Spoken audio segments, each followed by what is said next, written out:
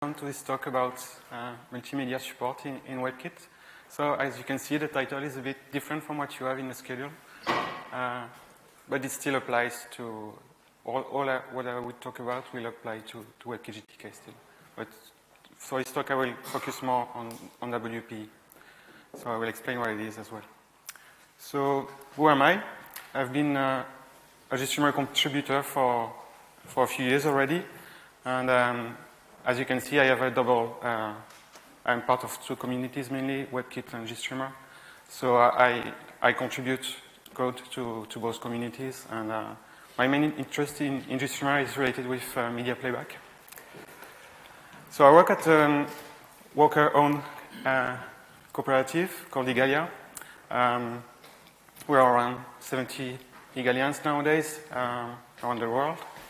Um, and we provide software consulting uh, services to, to companies around, around projects such as WebKit and, and GStreamer.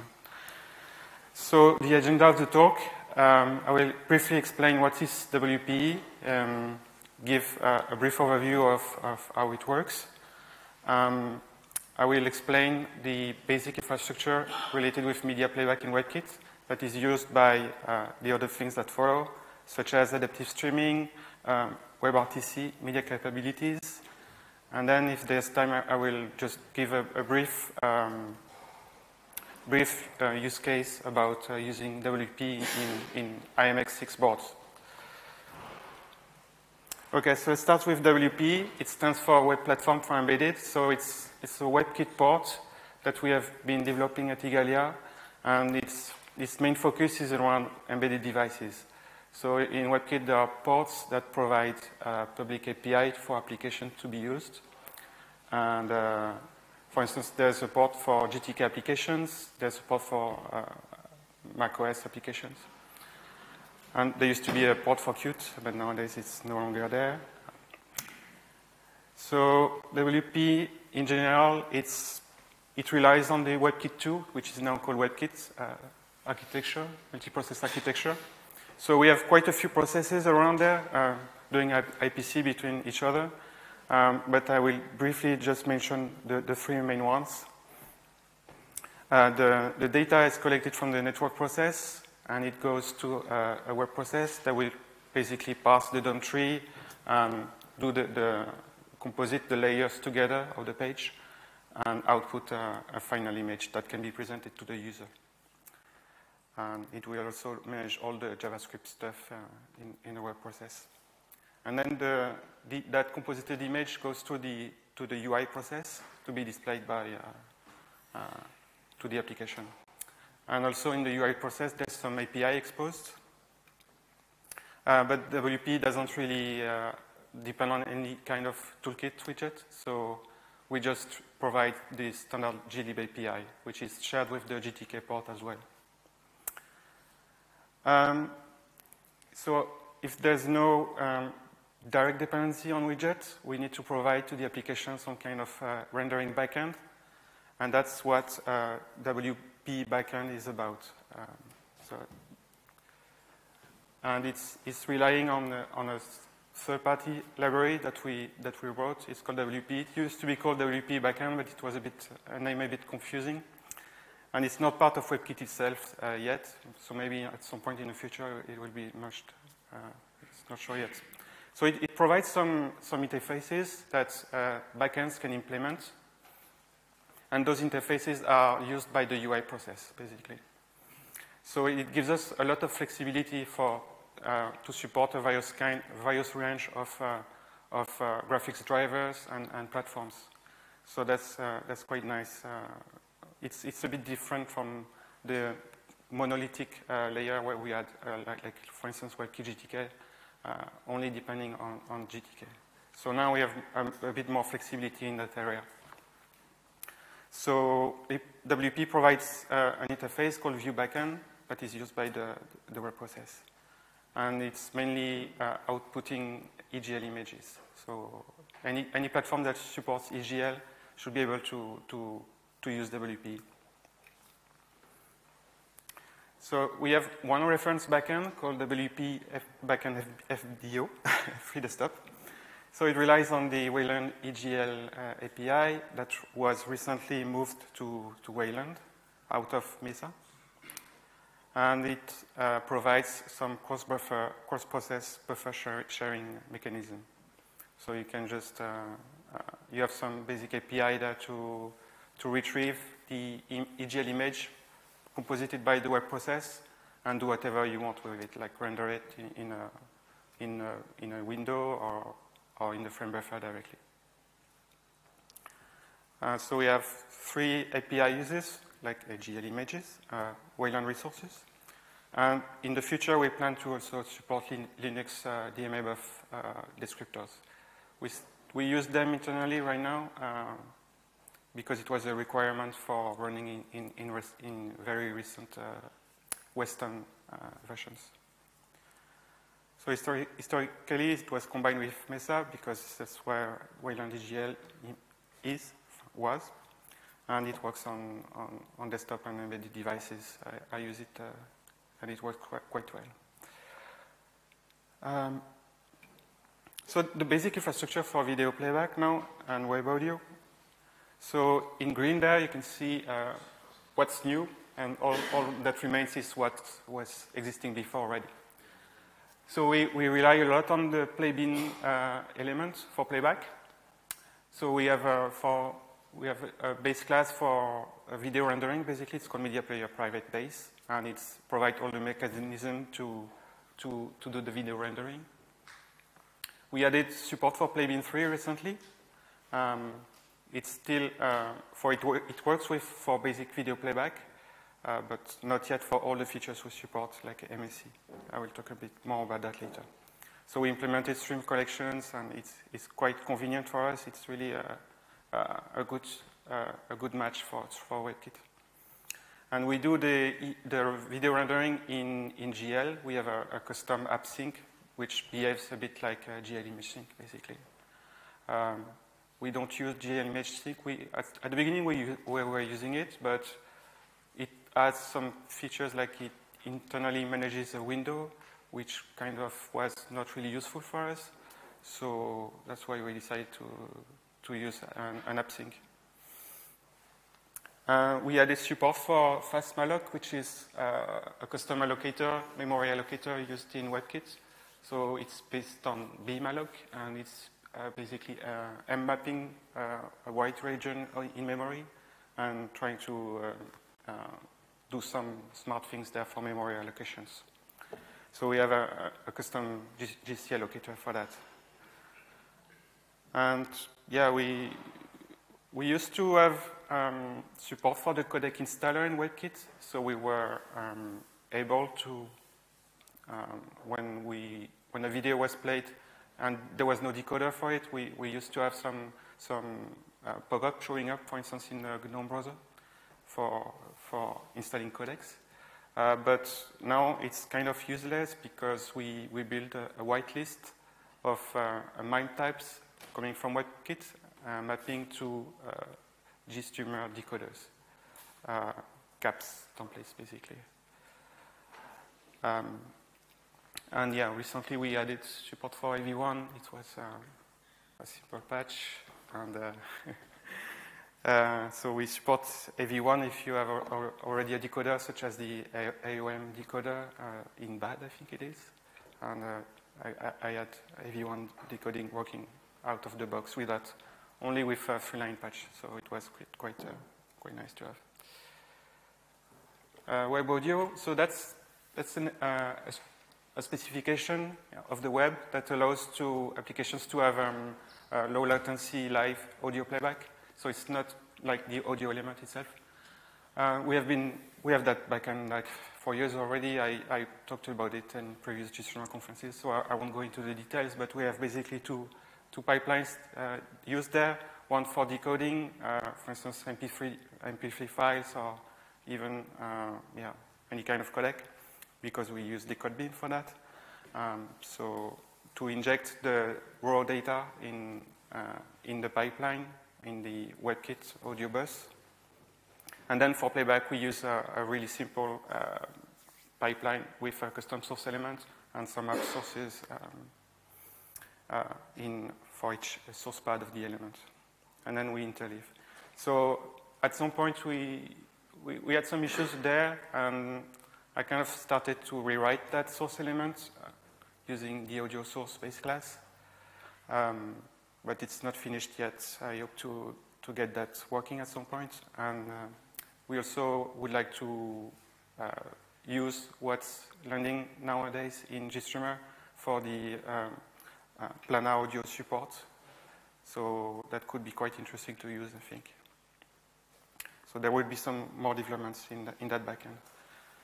So I have a few slides about that, about uh, tooling, because we, we spent a lot of time uh, debugging our applications, and um, I guess you, you know what GSTDebug is, what, what GSTDebug.dir is. Uh, I don't know if you can, if you really like that. Uh, so it's, in my opinion, uh, probably there's some room for improvement there. Um, there's GST debugger also. I think uh, the main author is there. I think I saw him.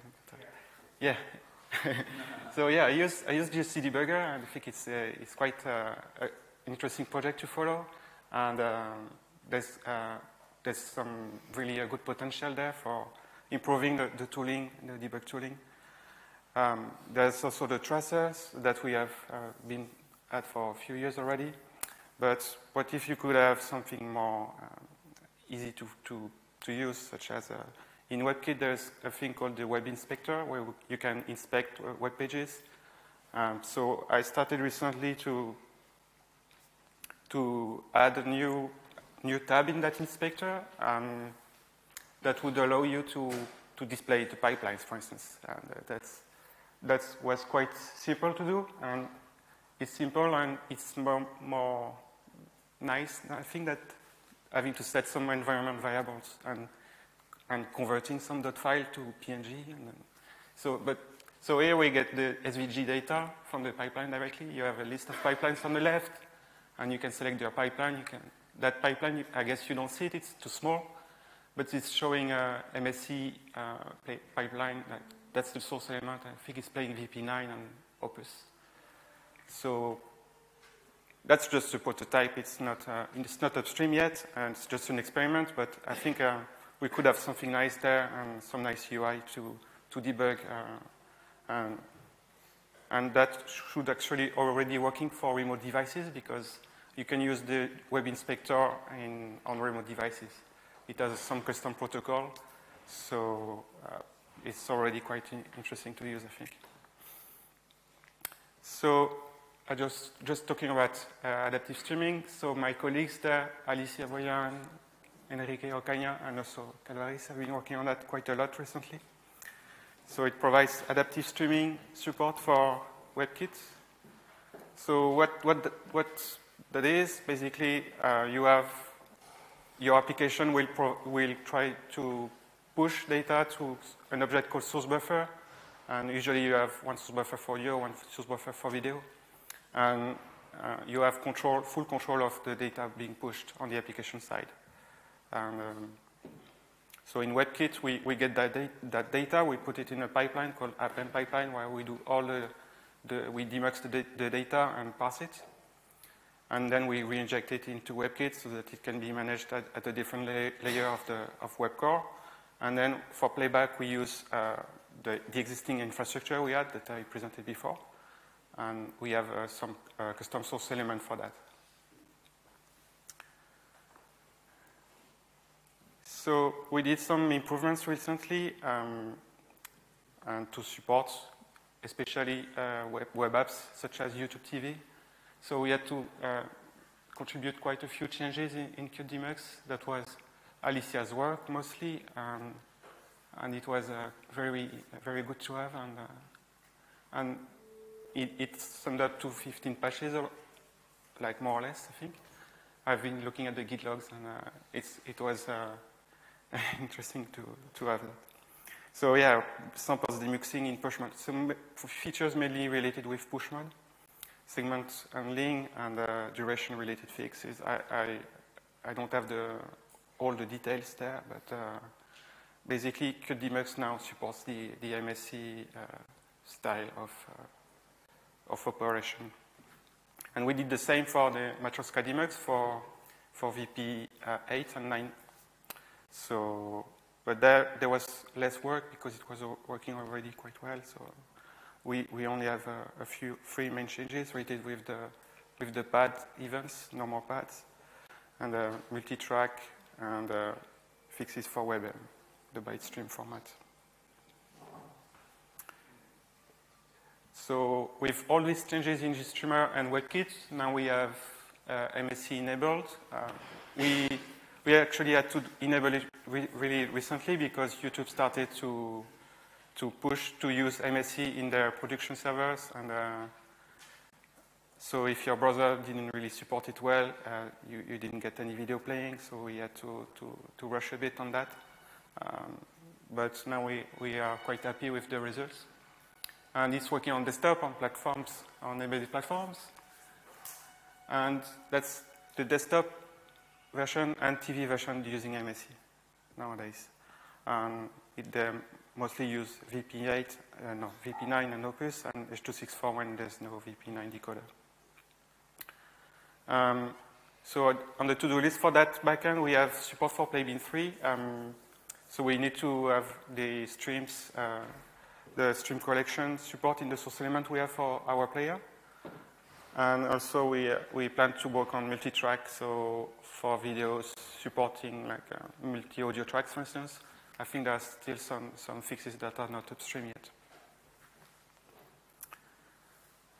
So now let's move to WebRTC. That, that was mainly done by Thibaut Saunier and Alex Castro. Um, so what we did, we had uh, some kind of history there going on for years. Uh, just really, even before 2015, there were some, some experiments already done in WebKit uh, based on Farstream. And, uh, but then Web, OpenWebRTC came. Uh, it was developed by Ericsson, and then the, it, the maintenance did fade away, and we, we had to remove that backend. And in the meantime, Apple uh, started integrating LibWebRTC into, their, into WebKit, so they did all the, they added support for custom decoders and encoders in, in, in, in that fork of LibWebRTC. So yeah, that's why we, we chose to adopt it. Uh, so yeah, that's what's, well, what I was saying before. Um, LibWebRTC currently is more, is quite uh, mature uh, code base. It's used in the main browsers, in Firefox, Chrome. And uh, it's quite feature complete. it supports a wide range of, uh, of the feature of the specs uh, that are mandated by WebRTC. And have, there's a huge uh, development team, mainly by, by Google, and uh, it's, uh, it's an interesting project to follow right now. And so yeah, Apple already did some integration there for to, to enable their decoders. So we, we decided to, to use the same, the same infrastructure. So, so we basically combined LibWebRTC with GStreamer. Um,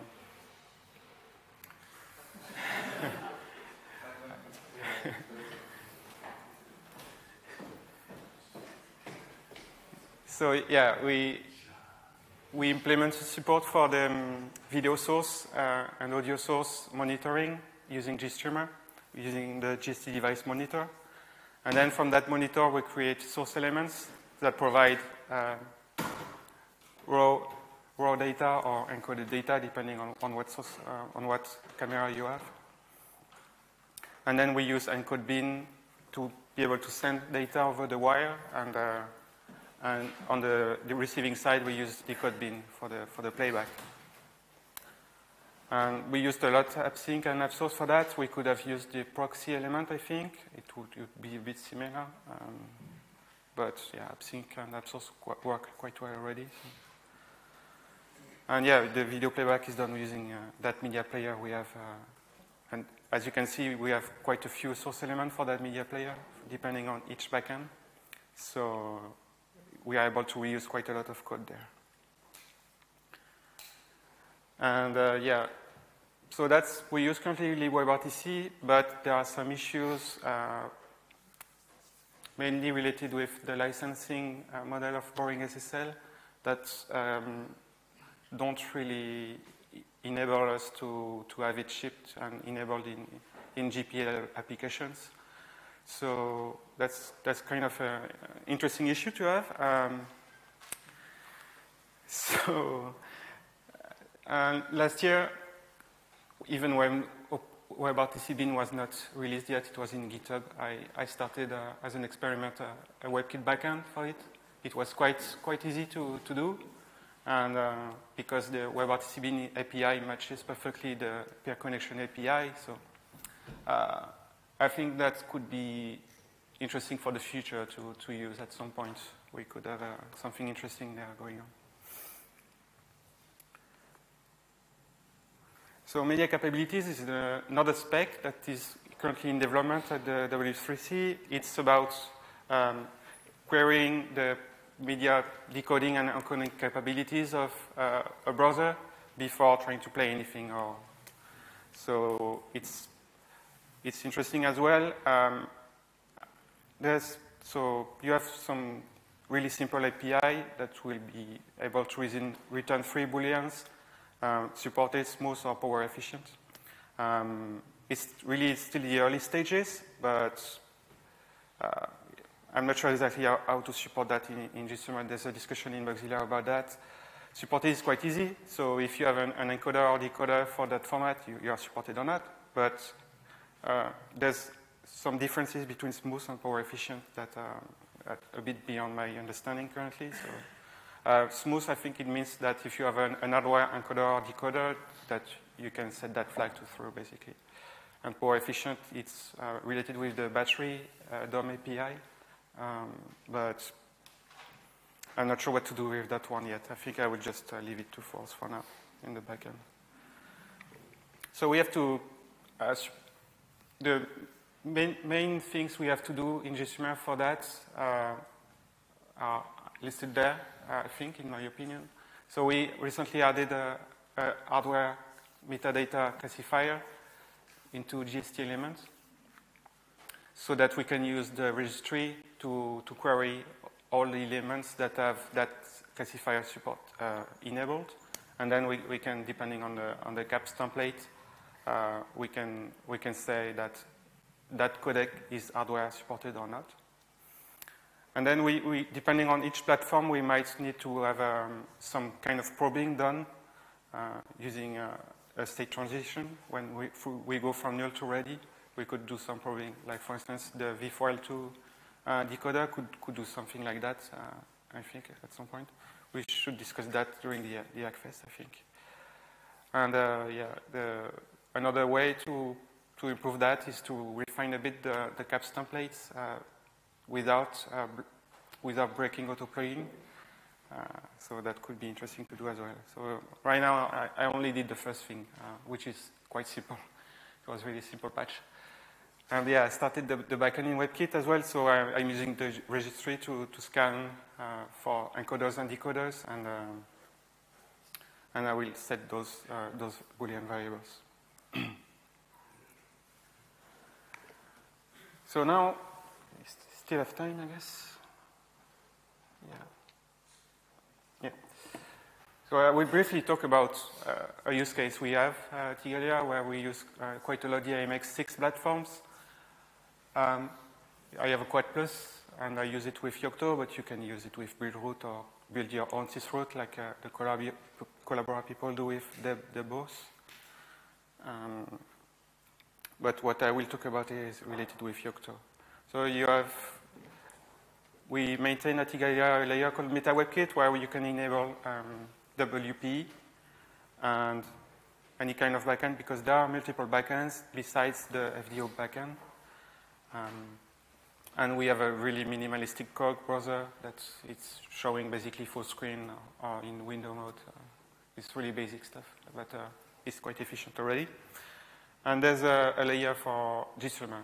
So that's the, the one maintained by OSS Systems is currently the most up-to-date uh, if you don't use uh, Poky master. So if you use Sumo or Rocko, you should use uh, that layer. And then MetaFreescale for all the mainline kernel stuff. And, uh, so they have basically two options. Um, you have the proprietary boots, which is which means that you need to depend on, on the drivers provided by Freescale and NXP. And then you have, you have the choice there between a few, a few WP backends. So the RDK backend is a collection of plugins, basically. It's, uh, it, it, has a few things there. So one is uh, a kind of a plugin for, for Wayland. Another one is for the specific Viv IMX6. And it's, it's working on the, on the frame device. And then you have the FDO backend, which is the one I use, and it's, it's usable in, in Weston only. and then for video playback, you use the GStreamer IMX plugins uh, provide hardware uh, zero copy decoding and encoding. Uh, if you don't like that option of depending on the proprietary driver, you have the open source option um, using the Etnaviv reverse engineered driver. And that's the option I use. Uh, I think it's, it's, it's quite interesting. And uh, there's a lot of uh, nice work being done there in that area. But you need to depend on really recent versions of the kernel of Mesa and, and Wayland. So you need to be on the bleeding edge there. Uh, yeah, and the, the, backends that you can use are mainly the RDK Wayland backend. I've, i was told it work, it's working, but I haven't tested it yet. I, I use the FDO backend. And, um, and for playback, you can use the Video for Linux plugin. I use some patches that are still in Bugzilla, I think, uh, for the GL DMABUF upload support. But besides that, um, upstream mainline works out of the box already. Uh, yeah. Okay, so that's it. Thank you for, for listening. Um, if you have any question or anything to, to ask, uh, I will be happy to answer.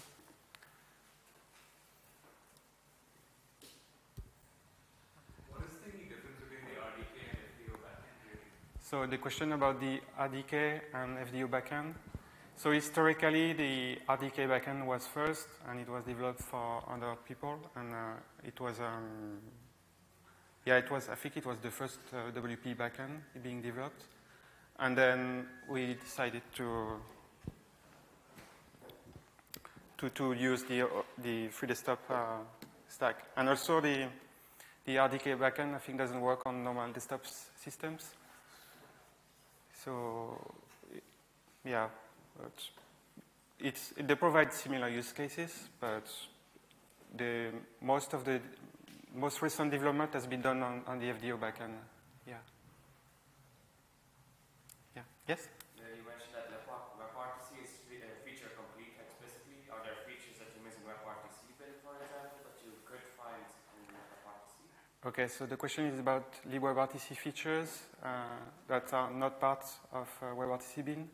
Uh, so the support in, in, in the libWebRTC backend currently is, um, is not featureful yet. So we missed some features related with the the Canvas and web audio support, like plugging between themselves the web audio backend with uh, web, the, the WebRTC backend. So that's not fully working yet, so we are still working on that. But the basic thing works. You can use uh, app RTC, and, uh, and uh, it's working already quite well. And um, all the um, networking stuff being done by the WebRTC should at some point, I think, being moved to the network process, but we can probably do that later. And it will be also an interesting thing to, to support for WebRTC bin, like we being able to uh, redirect the, the, the, network traffic to a specific process. Uh, it will be interesting, I think. Uh, yes. Yes? So you stated that the support for MSE WebKit is approximately stable. Any plans for 2019 for MSE? 2019? So yeah, I, I, had to plan two, two things, the um, multi-track support and uh, for Playbin 3, uh, which is not working yet. And the other one was, uh, which one was it?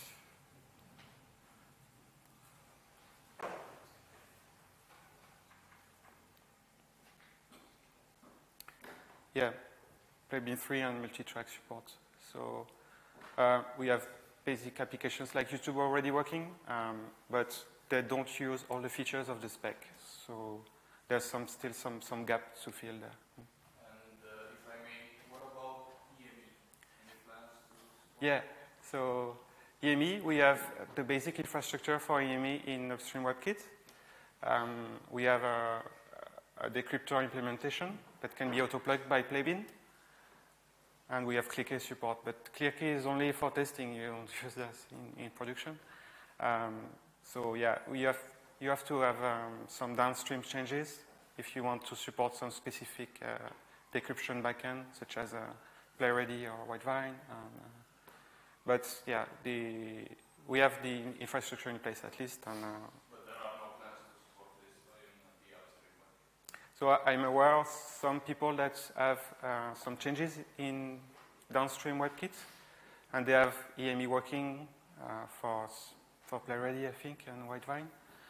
But in upstream, the situation is not clear yet what we should do because of the complexity of the DRM stuff being supported in, in open source projects. It's, it's, it's, uh, it's a complicated topic. yeah.